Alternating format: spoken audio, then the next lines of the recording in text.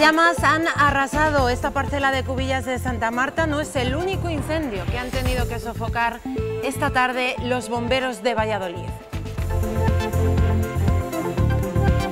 ¿Qué tal? Muy buenas tardes. También han tenido que actuar en Soto de Medinilla. De hecho, han tenido que cortar la VA20 dirección eh, Santovenia de Pisuerga. Es, eh, los incendios son parte de la actualidad del día junto con estas otras noticias. La embajadora de Irlanda en España visita Valladolid y las excavaciones de la calle Constitución. Aún no hay confirmación de que aquí estén los restos de Red Hughes O'Donnell, pero hay mucha expectación es evidente que hay mucho interés en Irlanda y que van a querer visitar aquí a Valladolid muchos más irlandeses. Como, como he dicho, no simplemente en la expectativa o en la espera de, de, de, de Reggie O'Donnell, pero también para, para celebrar las conexiones entre nuestros dos pueblos. Casi mil personas abandonaron las listas del paro en el mes de junio en Valladolid, la mayoría del sector servicios. Un primer alivio después del duro golpe que ha supuesto el coronavirus para el empleo.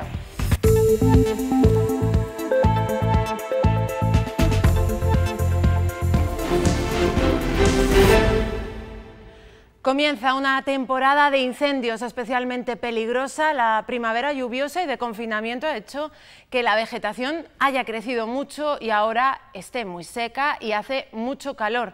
Esta tarde los bomberos de Valladolid han estado especialmente atareados, han tenido que sofocar este incendio originado minutos antes de las 3 de la tarde en unos terrenos del área municipal de Cubillas de Santa Marta. Han intervenido dos dotaciones de bomberos de Valladolid, un camión autobomba y un helicóptero de Medio Ambiente. También han tenido que sofocar otro incendio en Soto de Medinilla. El fuego ha afectado al Bosque de los Sueños, el proyecto de reforestación. Ha arrasado unas 5 hectáreas de matorral y ha obligado a cortar la carretera VA20 hacia Santovenia de Pisuerga. Se ha originado en torno a la una de la tarde y horas después el viento lo ha reactivado y los bomberos han tenido que desplazarse de nuevo. Por cierto, también hay complicaciones de tráfico a esta hora en la autovía A62. Hay un carril cortado en dirección a Salamanca por un accidente a la altura de Simancas, tres kilómetros de retenciones. Y seguimos con más asuntos. Un hombre de Matapozuelos ha sido condenado a dos años y medio de prisión. Es la pena que ha pactado el octogenario, que en 2016 provocó un incendio que acabó con la vivienda de sus vecinos. Quemó revistas y otros papeles en el patio de su casa y el fuego pasó a la casa continua. Con 86 años se ha sentado en el banquillo de los acusados Carmelo y lo ha hecho tras ser conducido a los juzgados por agentes de la Benemérita y tras dar plantón a la justicia el pasado 12 de junio. Entonces el juez determinó que se mirase si era imputable y hoy se ha celebrado el juicio, aunque un acuerdo de última hora ha hecho que la sesión fuera un mero trámite y que la pena se redujese justo a la mitad que debemos condenar y condenamos a don Carmelo Romero Díez como autor de un delito de incendios por imprudencia grave a la pena de dos años y seis meses de prisión. Carmelo, de forma muy escueta, ha aceptado la condena. Acérquese al micrófono, por favor. Sí, sí. Está conforme. Los hechos se remontan a septiembre de 2016. Carmelo tenía por costumbre quemar hierbas y rastrojos en el patio de su casa. Pese a las advertencias de la Guardia Civil, el acusado insistía en esta práctica. El 24 de septiembre prendió fuego a revistas, periódicos y otros productos. El fuego, a través de unas vigas de madera, pasó a la casa contigua. Sus propietarios pudieron salir y las llamas devastaron su hogar. El acusado debe indemnizar tanto a la aseguradora con 143.000 euros como a los propietarios con 266.000. Un hombre apareció muerto en su casa en el barrio de Parque Sol el pasado mes de febrero con un cuchillo clavado en el pecho. El juzgado de instrucción 6 de Valladolid se inhibió para no investigar el caso y para dejarlo en manos del juzgado de violencia de género, ya que se veía como una posible autoagresión en una discusión. Pero la familia de la víctima ha peleado porque no se juzgara así y ahora la audiencia de Valladolid deja sin efecto la inhibición de la jueza y la obliga a retomar el caso, aunque la principal hipótesis sigue siendo la de un posible suicidio. Continúan las investigaciones en la calle Constitución de Valladolid en busca del líder irlandés Red Hugh O'Donnell. Hay tanta expectación en su país de origen que hoy ha visitado las ruinas la embajadora irlandesa. De momento no hay ninguna identificación, pero sí mucha esperanza. Ha terminado la primera fase de las investigaciones. Han encontrado restos de 20 personas, aunque creen que ninguna es Red Hugh O'Donnell. Esto es la antesala de la Capilla Maravillas y por eso quieren seguir excavando en el subsuelo de este edificio. Y se tiene también la certeza de que es muy posible que la capilla continúe dentro, por debajo de este edificio, y por tanto eh, hay una expectativa también de que los trabajos puedan continuar y se pueda llegar a, encontrar un lugar tan importante, el lugar en el que recibió eh, sepultura Cristóbal Colón en el año 1506 y aproximadamente 100 años después el irlandés Hugh O'Donnell, que en su periplo vital acabó falleciendo en el archivo de Simancas cuando venía a España a Valladolid, que era la sede de la corte entonces. Están en conversaciones con los dueños del edificio y van a realizar catas para conocer el estado del terreno. De todo esto están muy pendientes en Irlanda que seguimos en Irlanda, no simplemente el gobierno, pero el pueblo. Em, estas noticias de aquí, de esta calle en Valladolid, ha sido um, publicado en todos los periódicos por las noticias en televisión y sin duda es evidente que hay mucho interés en Irlanda y que van a querer visitar aquí a Valladolid muchos más irlandeses. De hecho, el gobierno irlandés está en continuas conversaciones con el ayuntamiento y se ha ofrecido a colaborar, también económicamente. Mientras, continuarán con la obra de peatonalización de la calle Constitución. Harán un muro a la altura de la acera para delimitar los hallazgos. Los parlamentarios del Partido Popular han denunciado hoy que el Gobierno de España no está cumpliendo con la nueva normalidad prometida. Se refieren en concreto a las frecuencias de los trenes que comunican Valladolid con Madrid, con pueblos de la provincia y con el noroeste peninsular denuncian que la vuelta a la nueva normalidad anunciada por Pedro Sánchez no cumple con las necesidades de los usuarios de Renfe.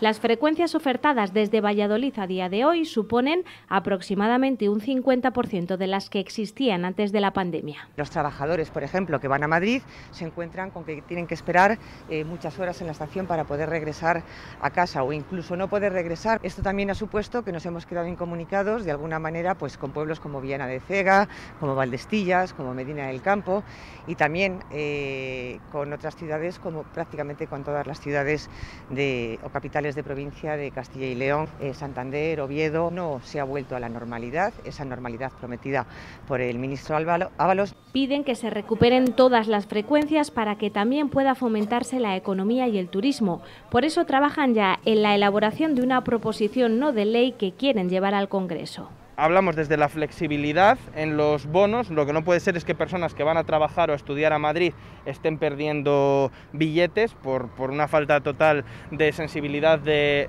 Renfe. Estamos hablando también de, que puedan tener parking gratuito, porque ya que salir desde la puerta de su casa les exige eh, muchísimo tiempo, pues que puedan tener aquí ese servicio de parking junto con su bono. Además, han reclamado un servicio Avant modernizado y sin retrasos.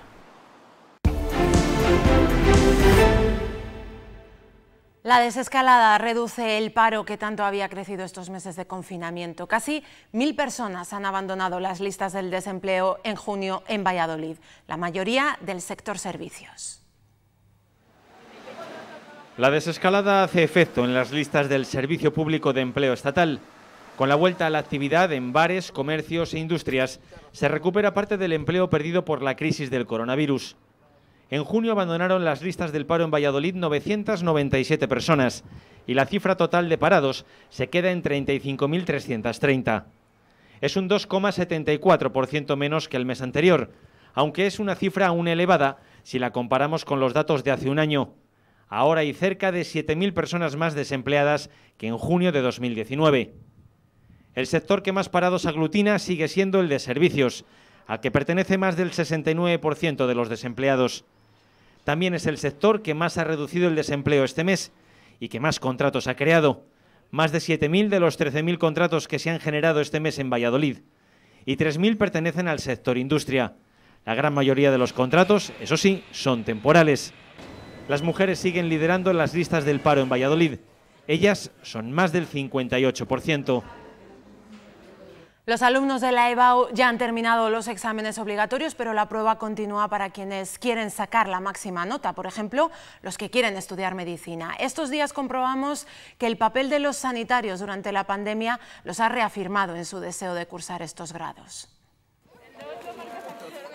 Leire e Inés tienen mucho en común. Son compañeras de instituto, estos días se enfrentan a la EBAU y tienen muy claro que harán medicina. Desde pequeña siempre he querido, siempre he querido hacerlo. Es lo único que quiero hacer, o sea, no, no, no me imagino haciendo otra cosa. Lo suyo es tan vocacional que ni la crisis sanitaria de la COVID-19 hace que se lo piensen dos veces. Todo lo que han estado haciendo los médicos durante la pandemia, todo lo que me, me ha motivado a, a, que, a querer estudiarla y a decir, es que es lo mío. Y eso que lo han visto en casa, los tíos de Inés y los padres de Leire han estado en primera línea. Tiene que ser una sensación salvar una vida de alguien y decir, jo, pues estaba a punto de morir y, y no, es, no se va a morir gracias a mí.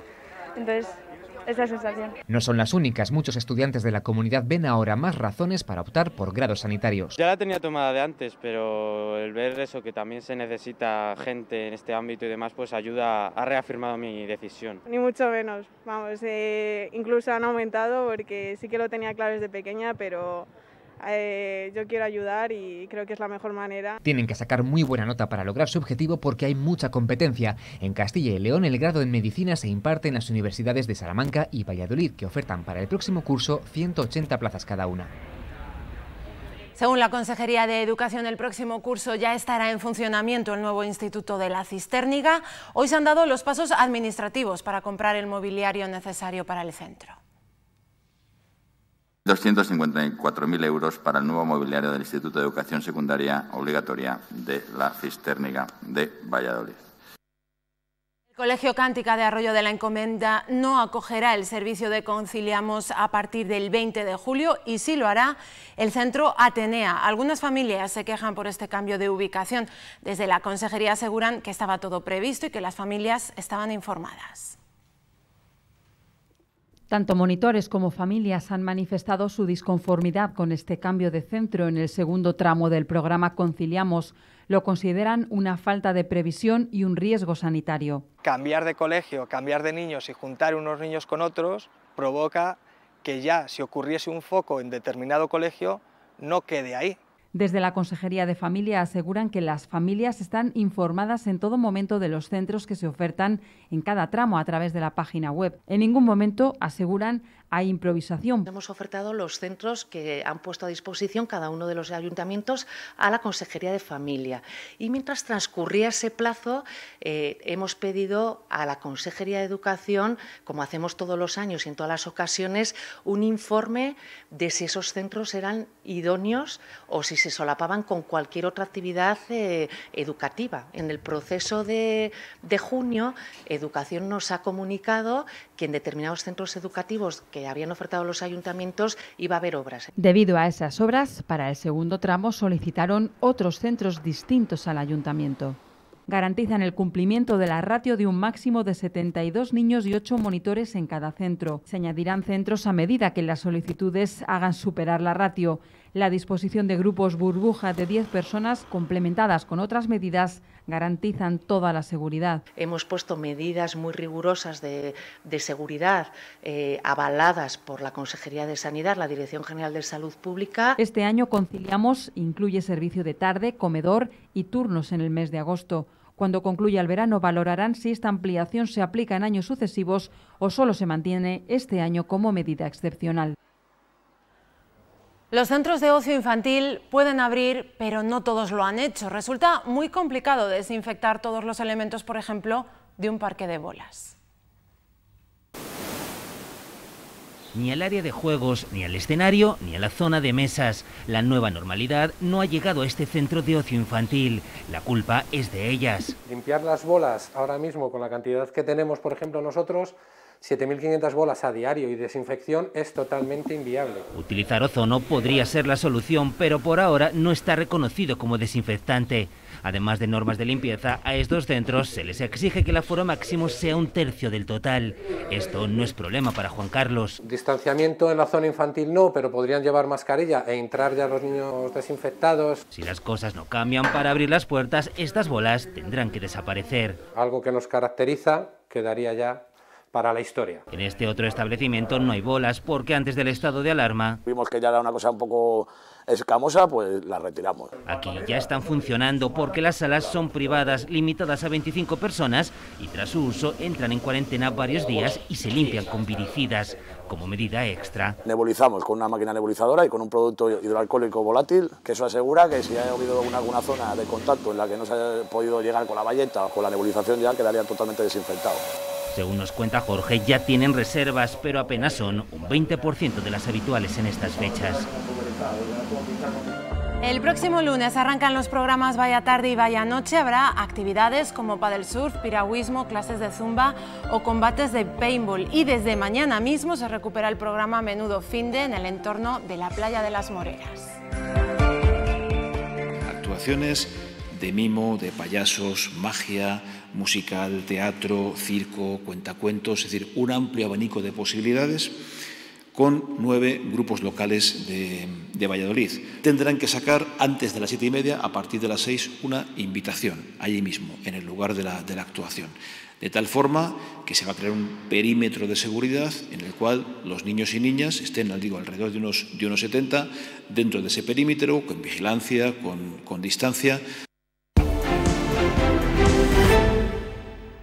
En Medina del Campo han recopilado dibujos, cartas, fotografías hechas durante el confinamiento y con todo ello han editado un libro que ahora se vende para recaudar fondos y contribuir a luchar contra el coronavirus. El coste del libro es un donativo, son 5 euros que van destinados a las residencias de ancianos de Medina del Campo. Es un bien solidario, es un bien donde se van a beneficiar de ello eh, los más afectados por el COVID-19. Nos despedimos con el vídeo que ha hecho el grupo vallesoletano Happening para apoyar a los trabajadores de la cultura. Ahora el tiempo y los deportes. Adiós.